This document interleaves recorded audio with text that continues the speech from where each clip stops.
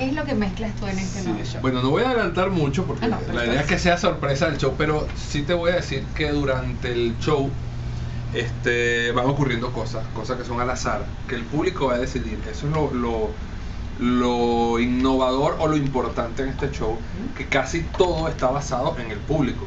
Ok, O sea que un show no va a ser igual al otro. Eh, no, nunca, jamás. Este, de hecho, se va a basar muchísimo en las respuestas y en las decisiones de la gente. Decisiones individuales, independientes de cada quien.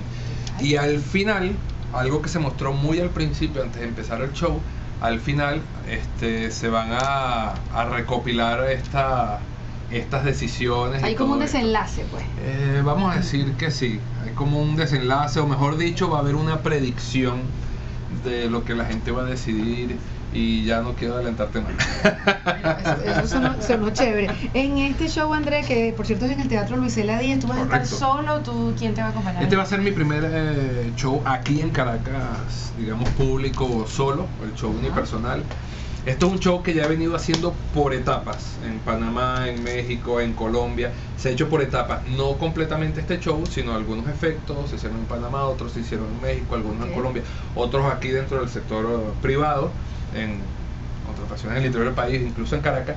Y decidí, mira, vamos a ponerlos todos juntos y vamos a buscar una estructura, eh, como diría un gran maestro que yo leo mucho, que se llama Juan Tamariz, donde quería integrar mucho al público. No simplemente que aplaudiera o, lo típico que hacen algunos humoristas de echarle un chiste a alguien, ¿no? Ok. sino que el espectador dejara de ser espectador para que fuera espectador.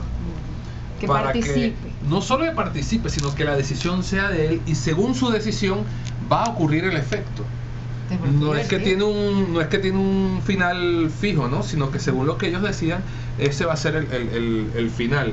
Y todo tiene el- todo va a ir ganado, o sea que si llegara yo a sacar algún efecto de la mitad, se me rompe esa, esa seguidilla que tengo en la estructura dramática del show y ¿Y cómo se prepara un mago eh, para un show de este tipo? Mucho cómo, cómo, sí, porque ¿cómo lo ensayas, por ejemplo?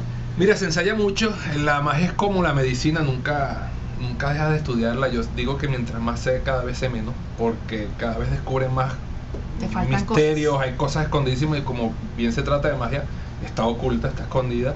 Y tú de repente crees que te las sabes todas y puede venir un niño de 10 años y sorprenderte y a mí eso me encanta, después de tantos años haciendo magia que todavía venga alguien y me sorprenda y, y- y me haga un efecto de magia y sienta esa ilusión que sentí cuando era niño cuando por primera vez me hicieron magia, ¿no? El título del show, Conjuros, sabrás el futuro. Correcto. ¿Cómo lo seleccionas? Este, eso fue hace dos años. eh, venía más o menos conjugando ya, ya tenía la idea de unir todos estos efectos como te conté. Ujú. Y estaba buscando una palabra que englobara un poquito todo y que no fuera el típico cliché, porque la magia que hacemos aquí, me gustaría acotar eso, no es la magia acostumbrada del cliché de la gente, que es el mago con el frac y el bigote y la varita, no hay bigote, no hay varita, no hay conejo ni pañuelo, nada de eso. Es algo muchísimo más moderno. Y entonces estaba buscando una palabra que justamente no dijera eh, show de magia, de Ok. la magia y su show, el mágico, ta, ta, ta, sino buscar algo, sí, entonces buscar algo, una palabra que, que fuese más un nombre propio, ¿no? Y el, digamos, el el eslogan, justamente el efecto final, que se fue trabajado hace mucho tiempo para, para también buscar un ganchito, ¿no? Con el nombre. No, no, y por chévere, eso se llamó Conjuros, sabrás del futuro. Mira, aquí en donde vemos un poco la reseña del show, Ok. habla de diferentes cosas como eh, magia mental, argumentada, de close-up, Correcto. numérica, prestidigitación, ilusiones, humor. Háblanos un poquito de la menos conocida, porque Bueno, bueno. la mental obviamente es la, la, la de mentar, yo mento, tú mentas. No, Ah, mentira. No voy a ir La de mental Ah. es la de la mente, el mentalismo, ¿no? De, de saber qué estás De pensando, de adivinar, Ajá. de saber qué estás pensando, qué vas a decidir en un futuro, supongando que te pido tres números, entonces tú piensas esos tres números, ya sé que uno es seis y ta, ta, ta, ta, y así voy, ¿no?